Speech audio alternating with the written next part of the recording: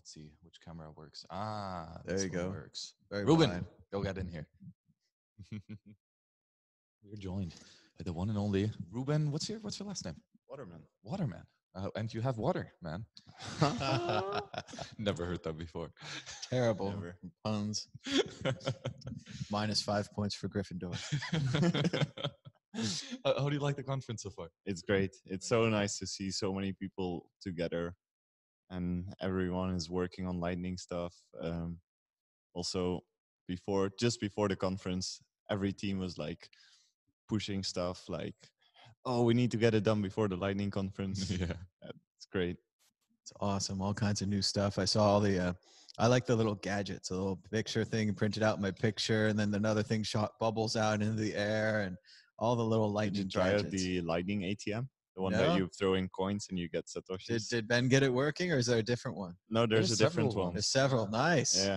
No, I love the idea with the coins because especially around here, there's all these coins I keep getting from country, country, country, and I don't really want them. So Mm. I would love it if there's a machine, a commercial level at an airport, just stack it in there. Yeah. Dump the things in there, put it on my wallet, and I'll go.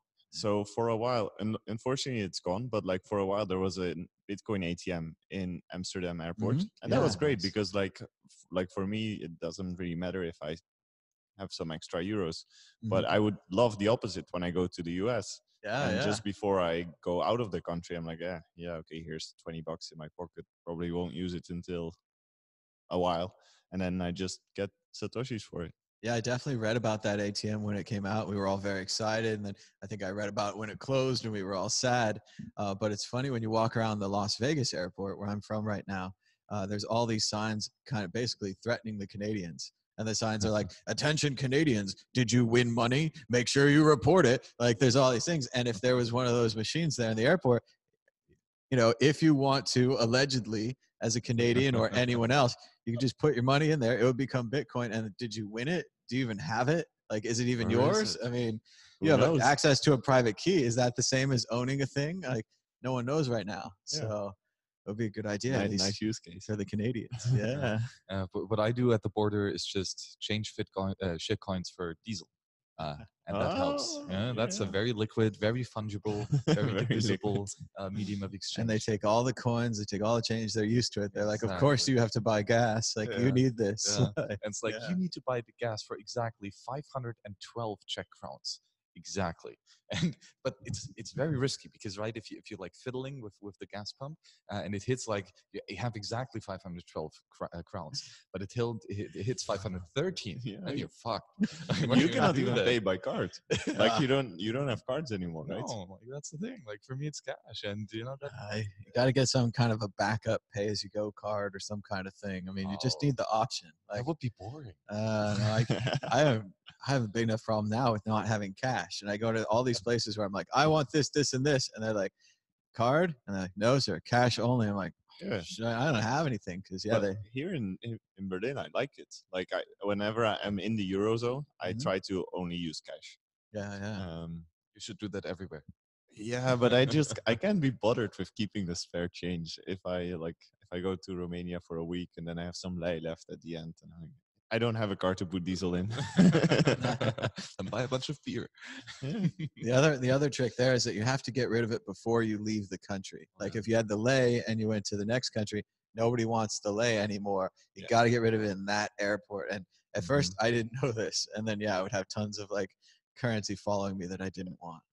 I still have a bunch of Asian coins, like from different countries, and I was always like, "Nah, I got ripped off at the airport on the exchange." rate." Yeah, but now I'm even more ripped off because No, that that cash is like never. you're holding it again. forever, and yeah, the price is going down.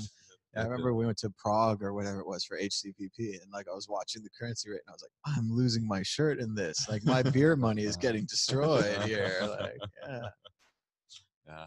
But the good thing is when you're in other countries, the prices are denominated in the shit coins, right? and hopefully they don't push up the prices in the time that you're there. Uh, so that's done a good. lot of the math where sometimes you'll be buying like a pack of gum or something.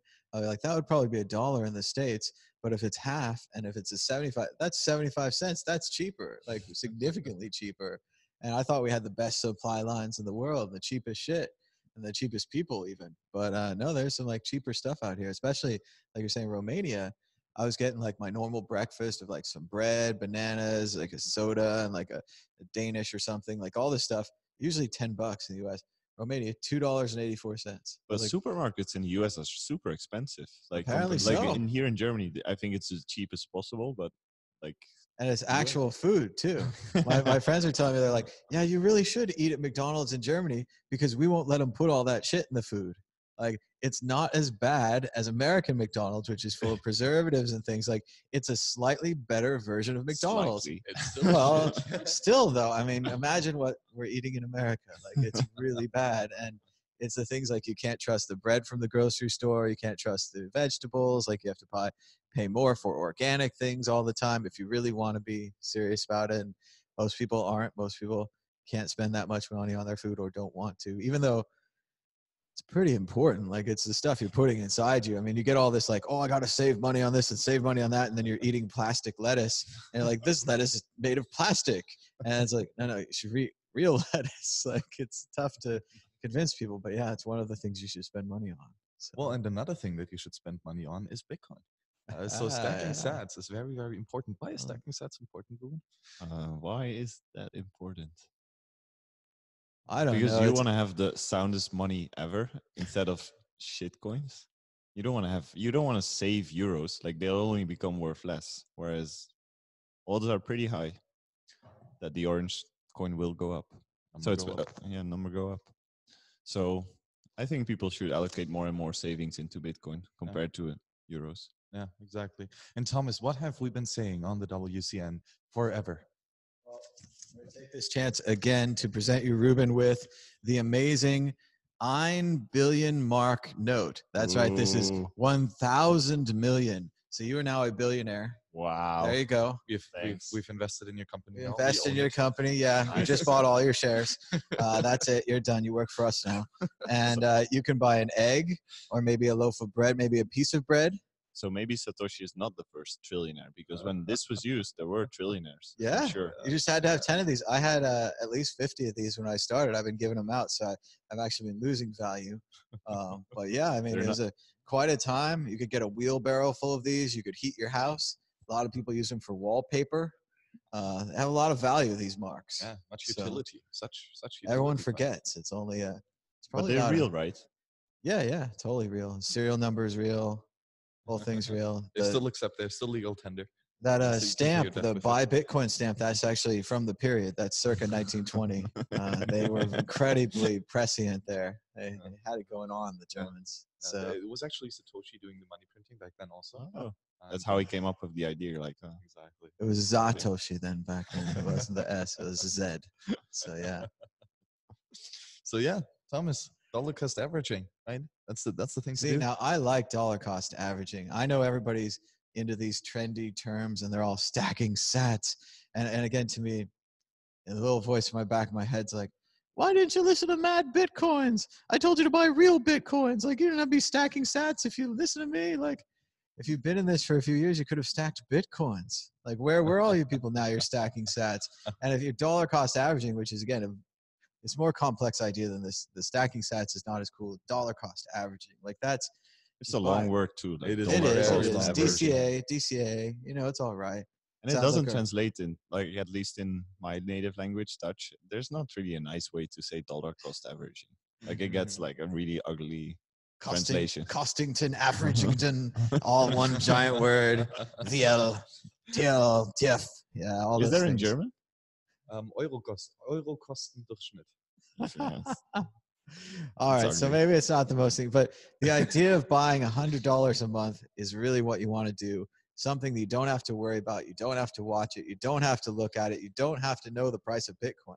Lots of people are like investing more money than they can lose, and they're like, "Oh, I put it all in, and then it went down," or "I put it all in, and it went up." And either way, you're that's the off. worst when people put it all in and they see it go down and then they get scared and they sell and that's like when you actually take the loss whereas like if you're just patient which like if what you're saying like people are investing too much they Mhm. can be patient right because they invested too much they Yep. actually needed the cash flow for Well, something and it's else important to have a job and to keep your job. And I always tell people to keep their jobs. Like I've never left my job on purpose. It's always been an unfortunate occurrence. um, but uh, no, yeah, I like having a job. It's great to have healthcare and all these kind of things. So So, so how does Bittr help StackSats? Well, so with Bittr, at least if you live in Europe, it's really easy Join to to stack sets. So uh, basically, you sign up on the website with your email address, phone number. You give us one of your Bitcoin address, or if you're more advanced than XPub, and then you set up the bank transfer. You go to your bank, you tell them, "Hey, I want to send 25 euros a week to Bittr." Put in your own like little deposit code that I know that it, it that, that this is your money and it should go to this Bitcoin address, and then you're good to go. And That's that's, it. it. That's, That's it. So you provide the XPub, right? Then you always you generate a new receiving address for the Bitcoin, and then every time you you make like one of these SEPA uh, like recurring payments, like You you set up uh, every Monday send twenty bucks worth uh, or twenty five bucks worth. I think that's the minimum um, to the uh, to the to the Bittr SEPA bank account. Yeah. Uh, and then how fast uh, does that get transferred to Bitcoin for the user? So it depends on the bank that the money is coming from, how fast they get it to us. Yeah. So with most banks in Europe, it's uh, the next business day. So let's say you do a transfer on Friday, the money will arrive to us on Monday. And then we check our bank uh, once per hour to see for any new transactions. The computers don't work on the weekend at the, Uh, at the not, on, banks. not on Sundays. the Not banks, Germany. The no banks' computers, they're the- very lazy. honestly, there's like now more and more banks added into this instant SEPA scheme, and that makes it really nice. So, for example, I have some German customers that use uh, Sparkasse or something like this, and so even like that money arrives actually in like a few seconds into our bank account, so they get their Bitcoin like next like within one hour. Oh, awesome. We'd also like to announce that the World Crypto Network has just invested 1 billion marks into Voltoro as Yeah, well. We have just on. acquired Bittr and Voltoro, A hundred percent of a all mere price of 2 billion marks uh, for the two companies. Uh, we're feeling very satisfied today. Is this at World Crypto Ostmark Network. Or It's a Reichsmark. That's probably. World War One, uh, right. pre World War One, post World War One money. beautiful. I wonder if they had anything printed on the back back then. I imagine they did. One, These are more like a notebook that I got at the thing, but it's a nice example of inflation and inflation money and people that have forgotten all about the the Deutschmarks and all. I think you just show them this, and you're like, why would they print a note this big? Don't fuck up the money. because of inflation. Like it wasn't to buy like they weren't going to do the Louisiana Purchase, so they made twelve special billion dollar notes to you know give to Napoleon. No, no, no. These were for normal purchases. I mean, what's interesting after World War One, you know, we had uh, in Germany here a massive inf- uh, inflation. Why? Because they well, they had to print themselves out of debt. Uh, well, the reparations that they owed for the rest for the other countries was so huge. Indeed. But France and stuff, they actually asked for gold in return for these Smart. in these reparations, and and and that was fine. So what what actually Germany did was print their own money and buy gold with that, and then pay that. And uh, that, of course, drove up the gold price like crazy um, because they knew there was all this demand, and then they started banning gold uh, imports. So they had I mean, there was all sorts of fiddly uh, ways to try to pay these reparations for free, basically, by just printing this stuff. And it looks so obvious in hindsight that the reparations would lead to the next war. Uh, Yeah. I don't know if they thought about that in the time, but a lot of historians are pretty much now getting rid of this idea of World War One and World War Two and just tying it together. It Because really there was is. a really there's a period of non-hostilities and then just kicks off again. So there it Yeah, is. there, there was a lot of hostility of, uh, you know, especially of creep from the other countries saying, you know, these scum and kickings of the ground, taking taking property from the Germans to because you know you still owe us from the world. And eventually, what are you going to do? I mean, I can imagine every country just being peed uh, off, and and eventually they they vote for some hardcore nut job who's like, we are German, like, and get really proud. It sure did. And uh, and we're seeing that globally now. This is a dangerous trend. This sort of hardcore nationalism uh, that's It's happening. desperate people. They don't know what Yeah. else to do. And And you see, every time there was a period of hyperinflation, um, soon after there was a drastic period of hardcore communism, hardcore fascism, or just tyranny in general. And we've seen the biggest hyperinflation on a global scale ever over the last couple 10, 20 years. Yeah. it's going to be interesting what's to come next. Yeah, I mean, when you see uh, news of the New York Fed printing another 128 billion dollars, and no one blinks an eye. Uh, no one really. It's not even covered really. The only people that cover it are like hardcore, you know, asset rare number types like ourselves or rare metal types that, that are like, uh, how much did you print? Where like no one's talking about this stuff. I mean, uh, you know, 128 billion. I think I think That's- that's like the number of That's 120. That's 128 of these things. of those, right? That's they it. just fucking printed. That's Yeah. I mean, that's almost as many as. I bought. I bought at least 50 of those, so I could only buy half or a third of, of what they printed. It- It's amazing, and so you know, I, I, it's funny because what generally then happens is that the uneducated types start blaming oil companies or milk producers or bread bakeries for being greedy capitalists because they're charging so much for bread. Unknowingly, they're not really doing any of that. They're just keeping up with inflation.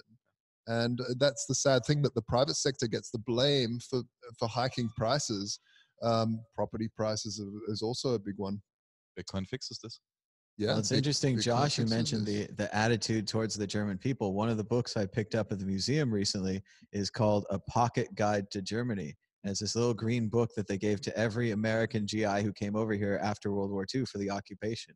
And it's really interesting uh, because a lot of it is like crazy wrong stuff. And they're talking, they're like, you know, the German has surrendered, but do not accept their surrender. They are still crafty, blah, blah, blah, blah. And then the rest of it's like, be nice to them. These are our friends. They're not our allies yet, but they're our friends, and we want you to be nice. And then there's like a phrase book, and there's like different words to use, and like just hints and tips.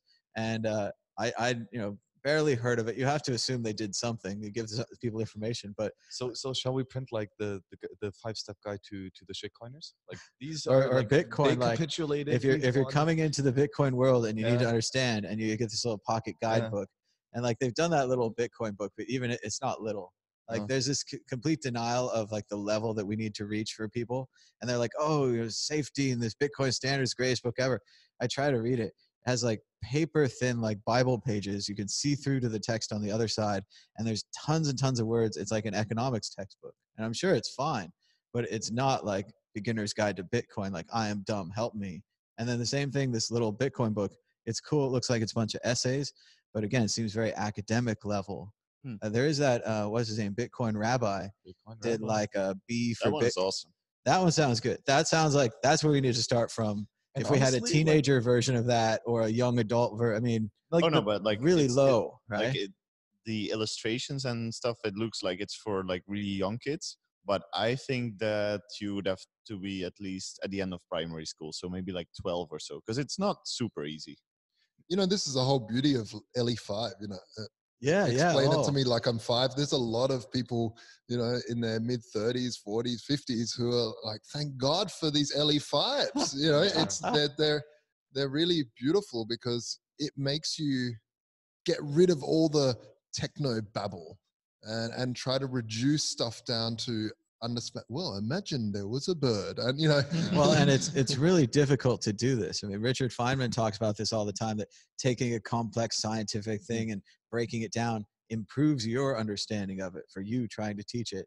And i know i've tried to make like intro to bitcoin videos and i start off really simple and i branch i have to explain this and this and this and this and this and then i'm like it's not simple anymore. And then you try to make the language all perfect and the presentation all perfect and i just perfect myself out of it and i couldn't do it but I'm still supposed to do it and still supposed to be a thing because yeah, people keep making them, but we haven't hit whatever it is, the right number of words or the simple explanation. Like, Well, try to mimic the uh, the, the book that you just picked up from the museum. yeah, yeah, I know. I'll try. I'll look at it, and especially I, I like the. I think you're right because yeah, the phrases section, like words that Bitcoiners use, like blockchain or Coinbase or uh, block or any of these things, all have other meanings. Hodl. It's Yeah, pretty much like yeah, hodl. It's like a foreign language. Like you are you're entering into Bitcoin country. I mean, and Ansel Lindner from yeah. the Bitcoin and Markets podcast on his resource page, like uh, Bitcoin and Markets.com or something. Uh, he also has like the vocabulary, some familiar phrases. He has a bunch of resource links. Um, you know, we have a bunch of these resource pages, like lopp.net, of course. Uh, That's way too much. Like if, if you're welcoming somebody new Oh, yeah. to to the space, you Yeah. don't want to send. I mean, Yeah. It really, it resources really is. Yeah. is amazing. Like Yeah. I go there sometimes, Yeah. but like you don't want to. That's too much. Um, their Gigi's uh, 21 lessons. Uh, that is that is like my go-to uh, introductionary piece because that really covers a lot of the like from zero to well 21. Uh, it's pretty good.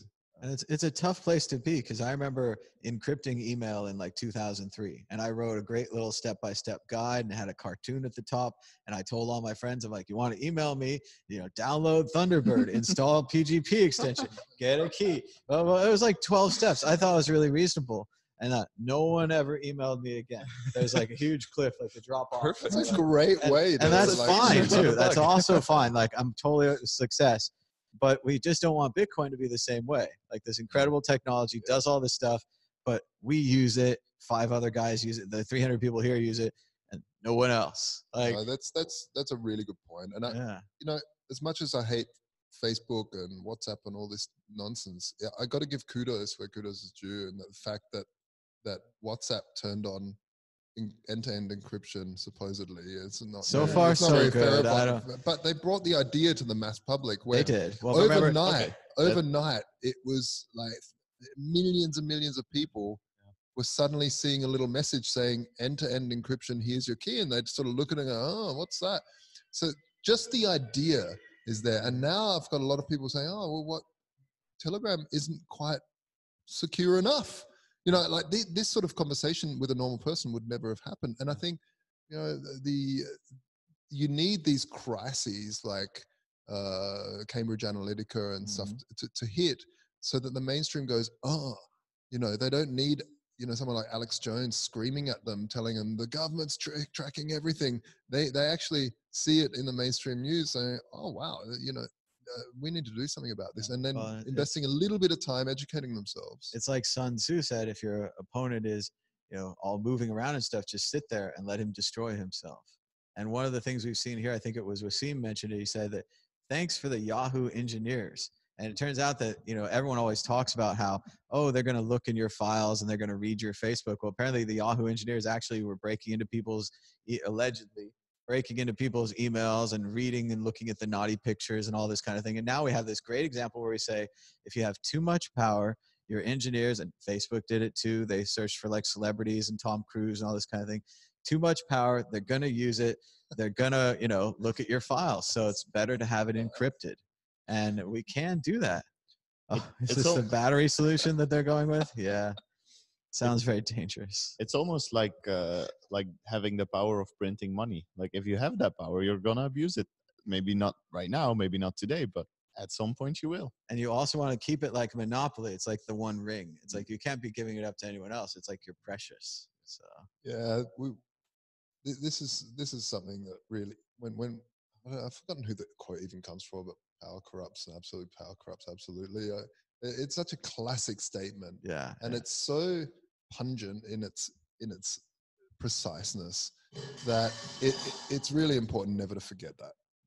Uh, whether whether it's a private company or a government, i i if you give one entity too much power, they're going to use it uh, eventually against you. Like there, there's it, a lot of people, especially on the left, I would say generally, because they seem to be very trusting. They're like, "Oh no, we need to, you know, ban this and ban and give more control." And because the person that's in control at that time, I'm talking about government here is is trusted. Like, like, you know, let's say they give great speeches. Like Obama was a very charismatic, great talker, but and uh, everyone was willing to hand over all this power then trump comes in and, and can take that or or you know if you don't if you don't believe that trump's bad uh, someone else could come in you know and and be even worse so you really want to be always pull back power whether it's from companies in, and, and that's what the decentralization stuff is all about is to say hey we don't want to or the or the migration of data at least you know Well, the, the other half of that is to think of Voltaire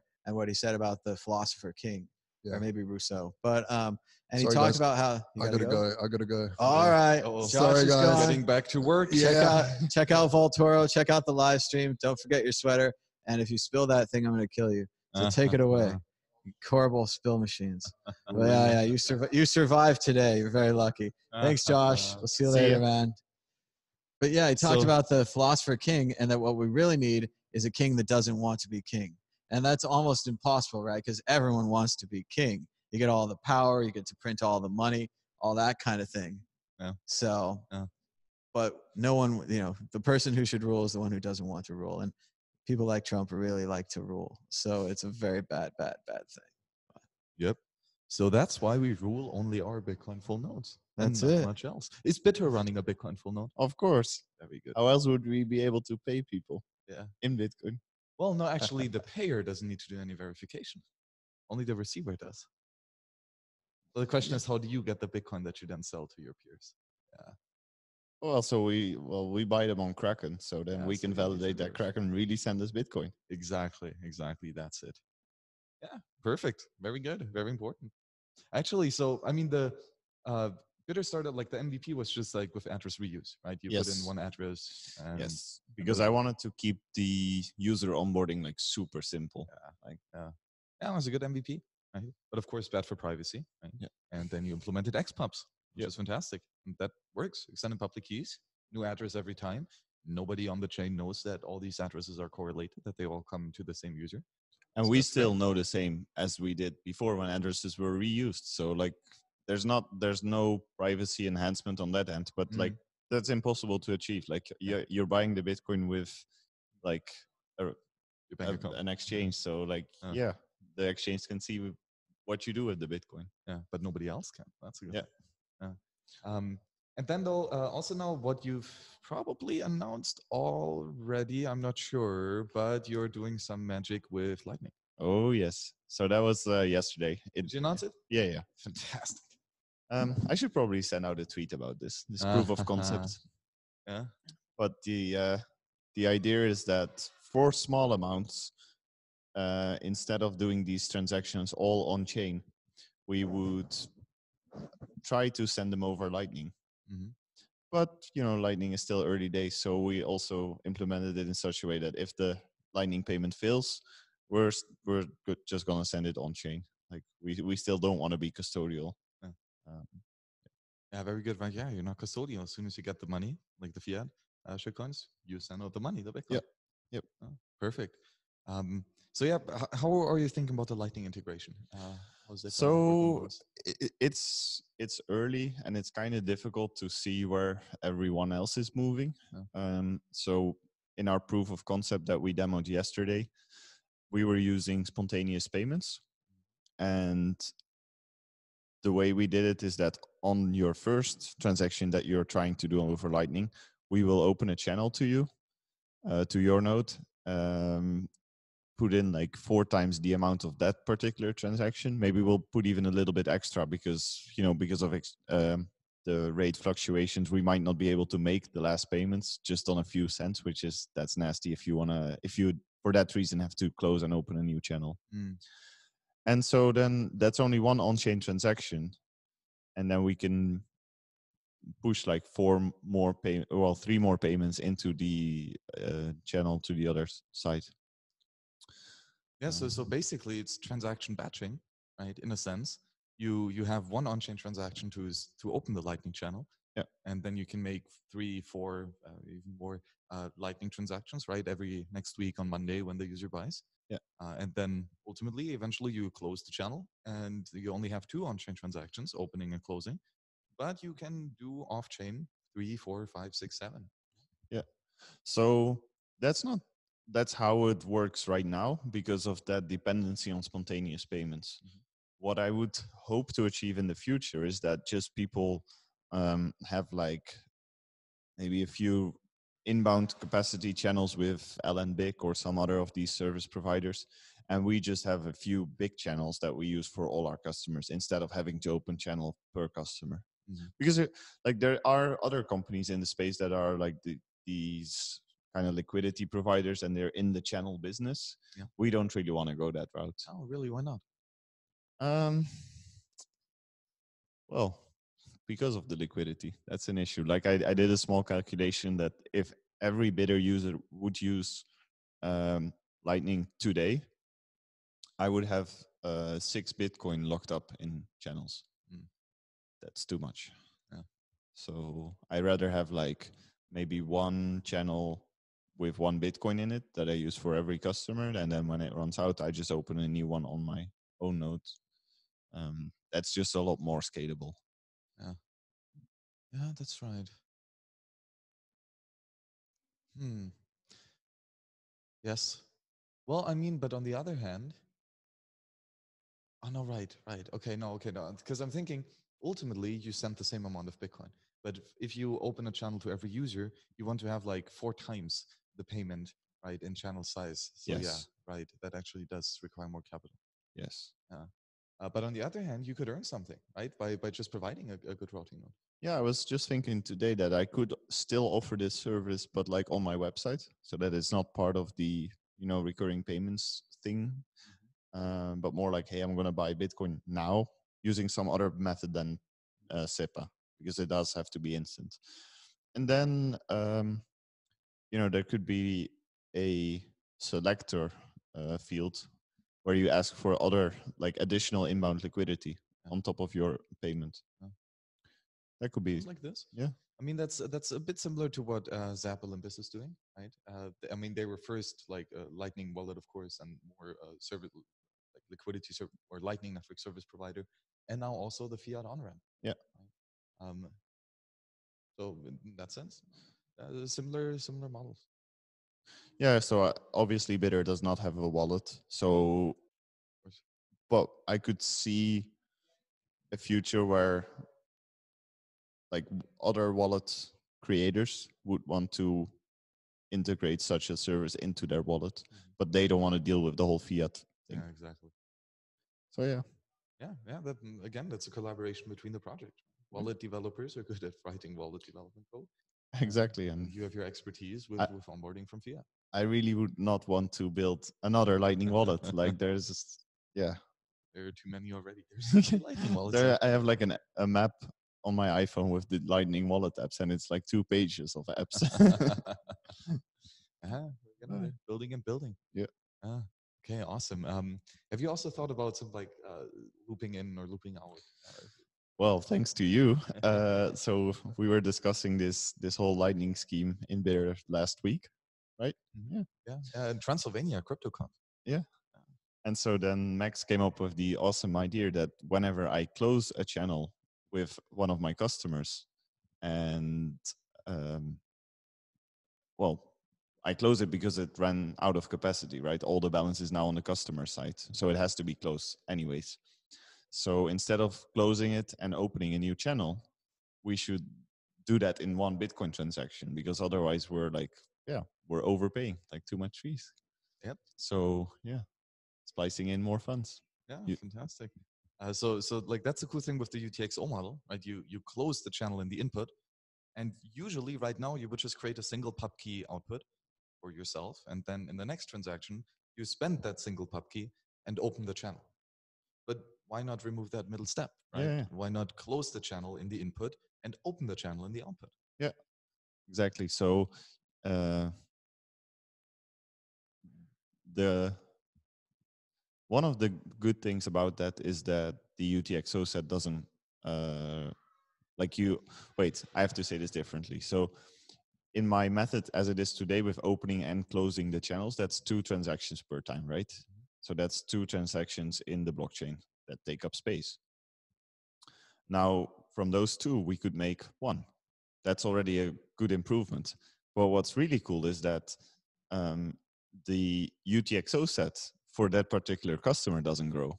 Mhm. So, like, whenever uh, we use the output, it's immediately an input. So then we were clean. We're cleaning up like the UTXO set constantly. So that's that's the best part. Yeah, exactly. And and also is you don't have to stop routing. You can continue routing a payment uh, like through the Lightning Network because you only have inputs like it, you you close and open the channel atomically, right? So the channel is never closed. It's Yeah. always open. So you can continue routing payments without any second to stop. Yeah. Oh. Eh, I only see benefits. Like I, well, somebody else uh, maybe has some downsides to this, please let me know. But Break it. otherwise, yeah, break it. otherwise, I think yeah, that's the way forward. Yeah. ah, hopefully. Let's see. Let's see. Yeah. Cool. Awesome stuff. Um, what else are you tinkering on?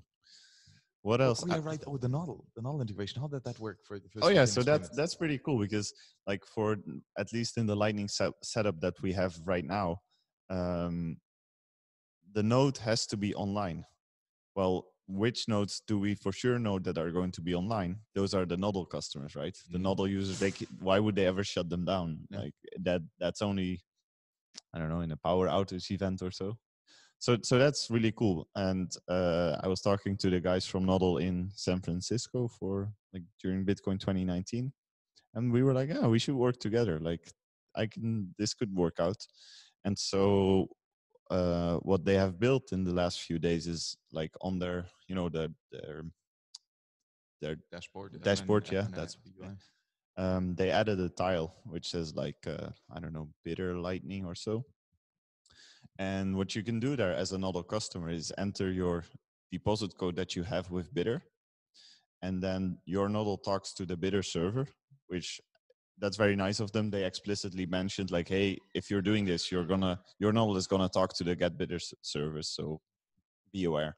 Okay. Um, and then in the background, we'll uh, attach the public key of that LND node to to your deposit code so that we know like hey this customer would want to receive funds in lightning um, and then he receives the future payments on his Nodl node directly Ah. over lightning and fully verified, fully self-sovereign. oh yes All right, perfect. Stacking sats on the Nodl. Yeah. Yeah. i like that tweet from mr hodl the other day like um, buying bitcoin is on chain stacking sets should be off chain or it was like something like this and i was like yeah Yeah, would, would make sense, right? And again, like with Bittr, it's just you said it once, like do a SEPA like recurring payment every Monday, couple like 25, 50 euros worth. That's it. that's it Done. Yeah. That's fantastic. and it, you know like the the time that it takes to do it manually is one thing but the discipline that's much harder because i was doing it myself manually like every saturday i would go on uh, this other exchange in holland to like, buy buy some bitcoin and at some point the price was going up and i was like oh no no now it's too expensive Yeah, it, it's you stupid like you should have just kept going because in hindsight it was it would have still been cheap Yeah, yeah. so The recurring payments is the way to go. And now especially who pay what's over lightning. Just get Bittr, everyone. Cool. thanks for inviting me Well, yeah, thank you very much for building this awesome tech. Uh, thank you for coming on the show.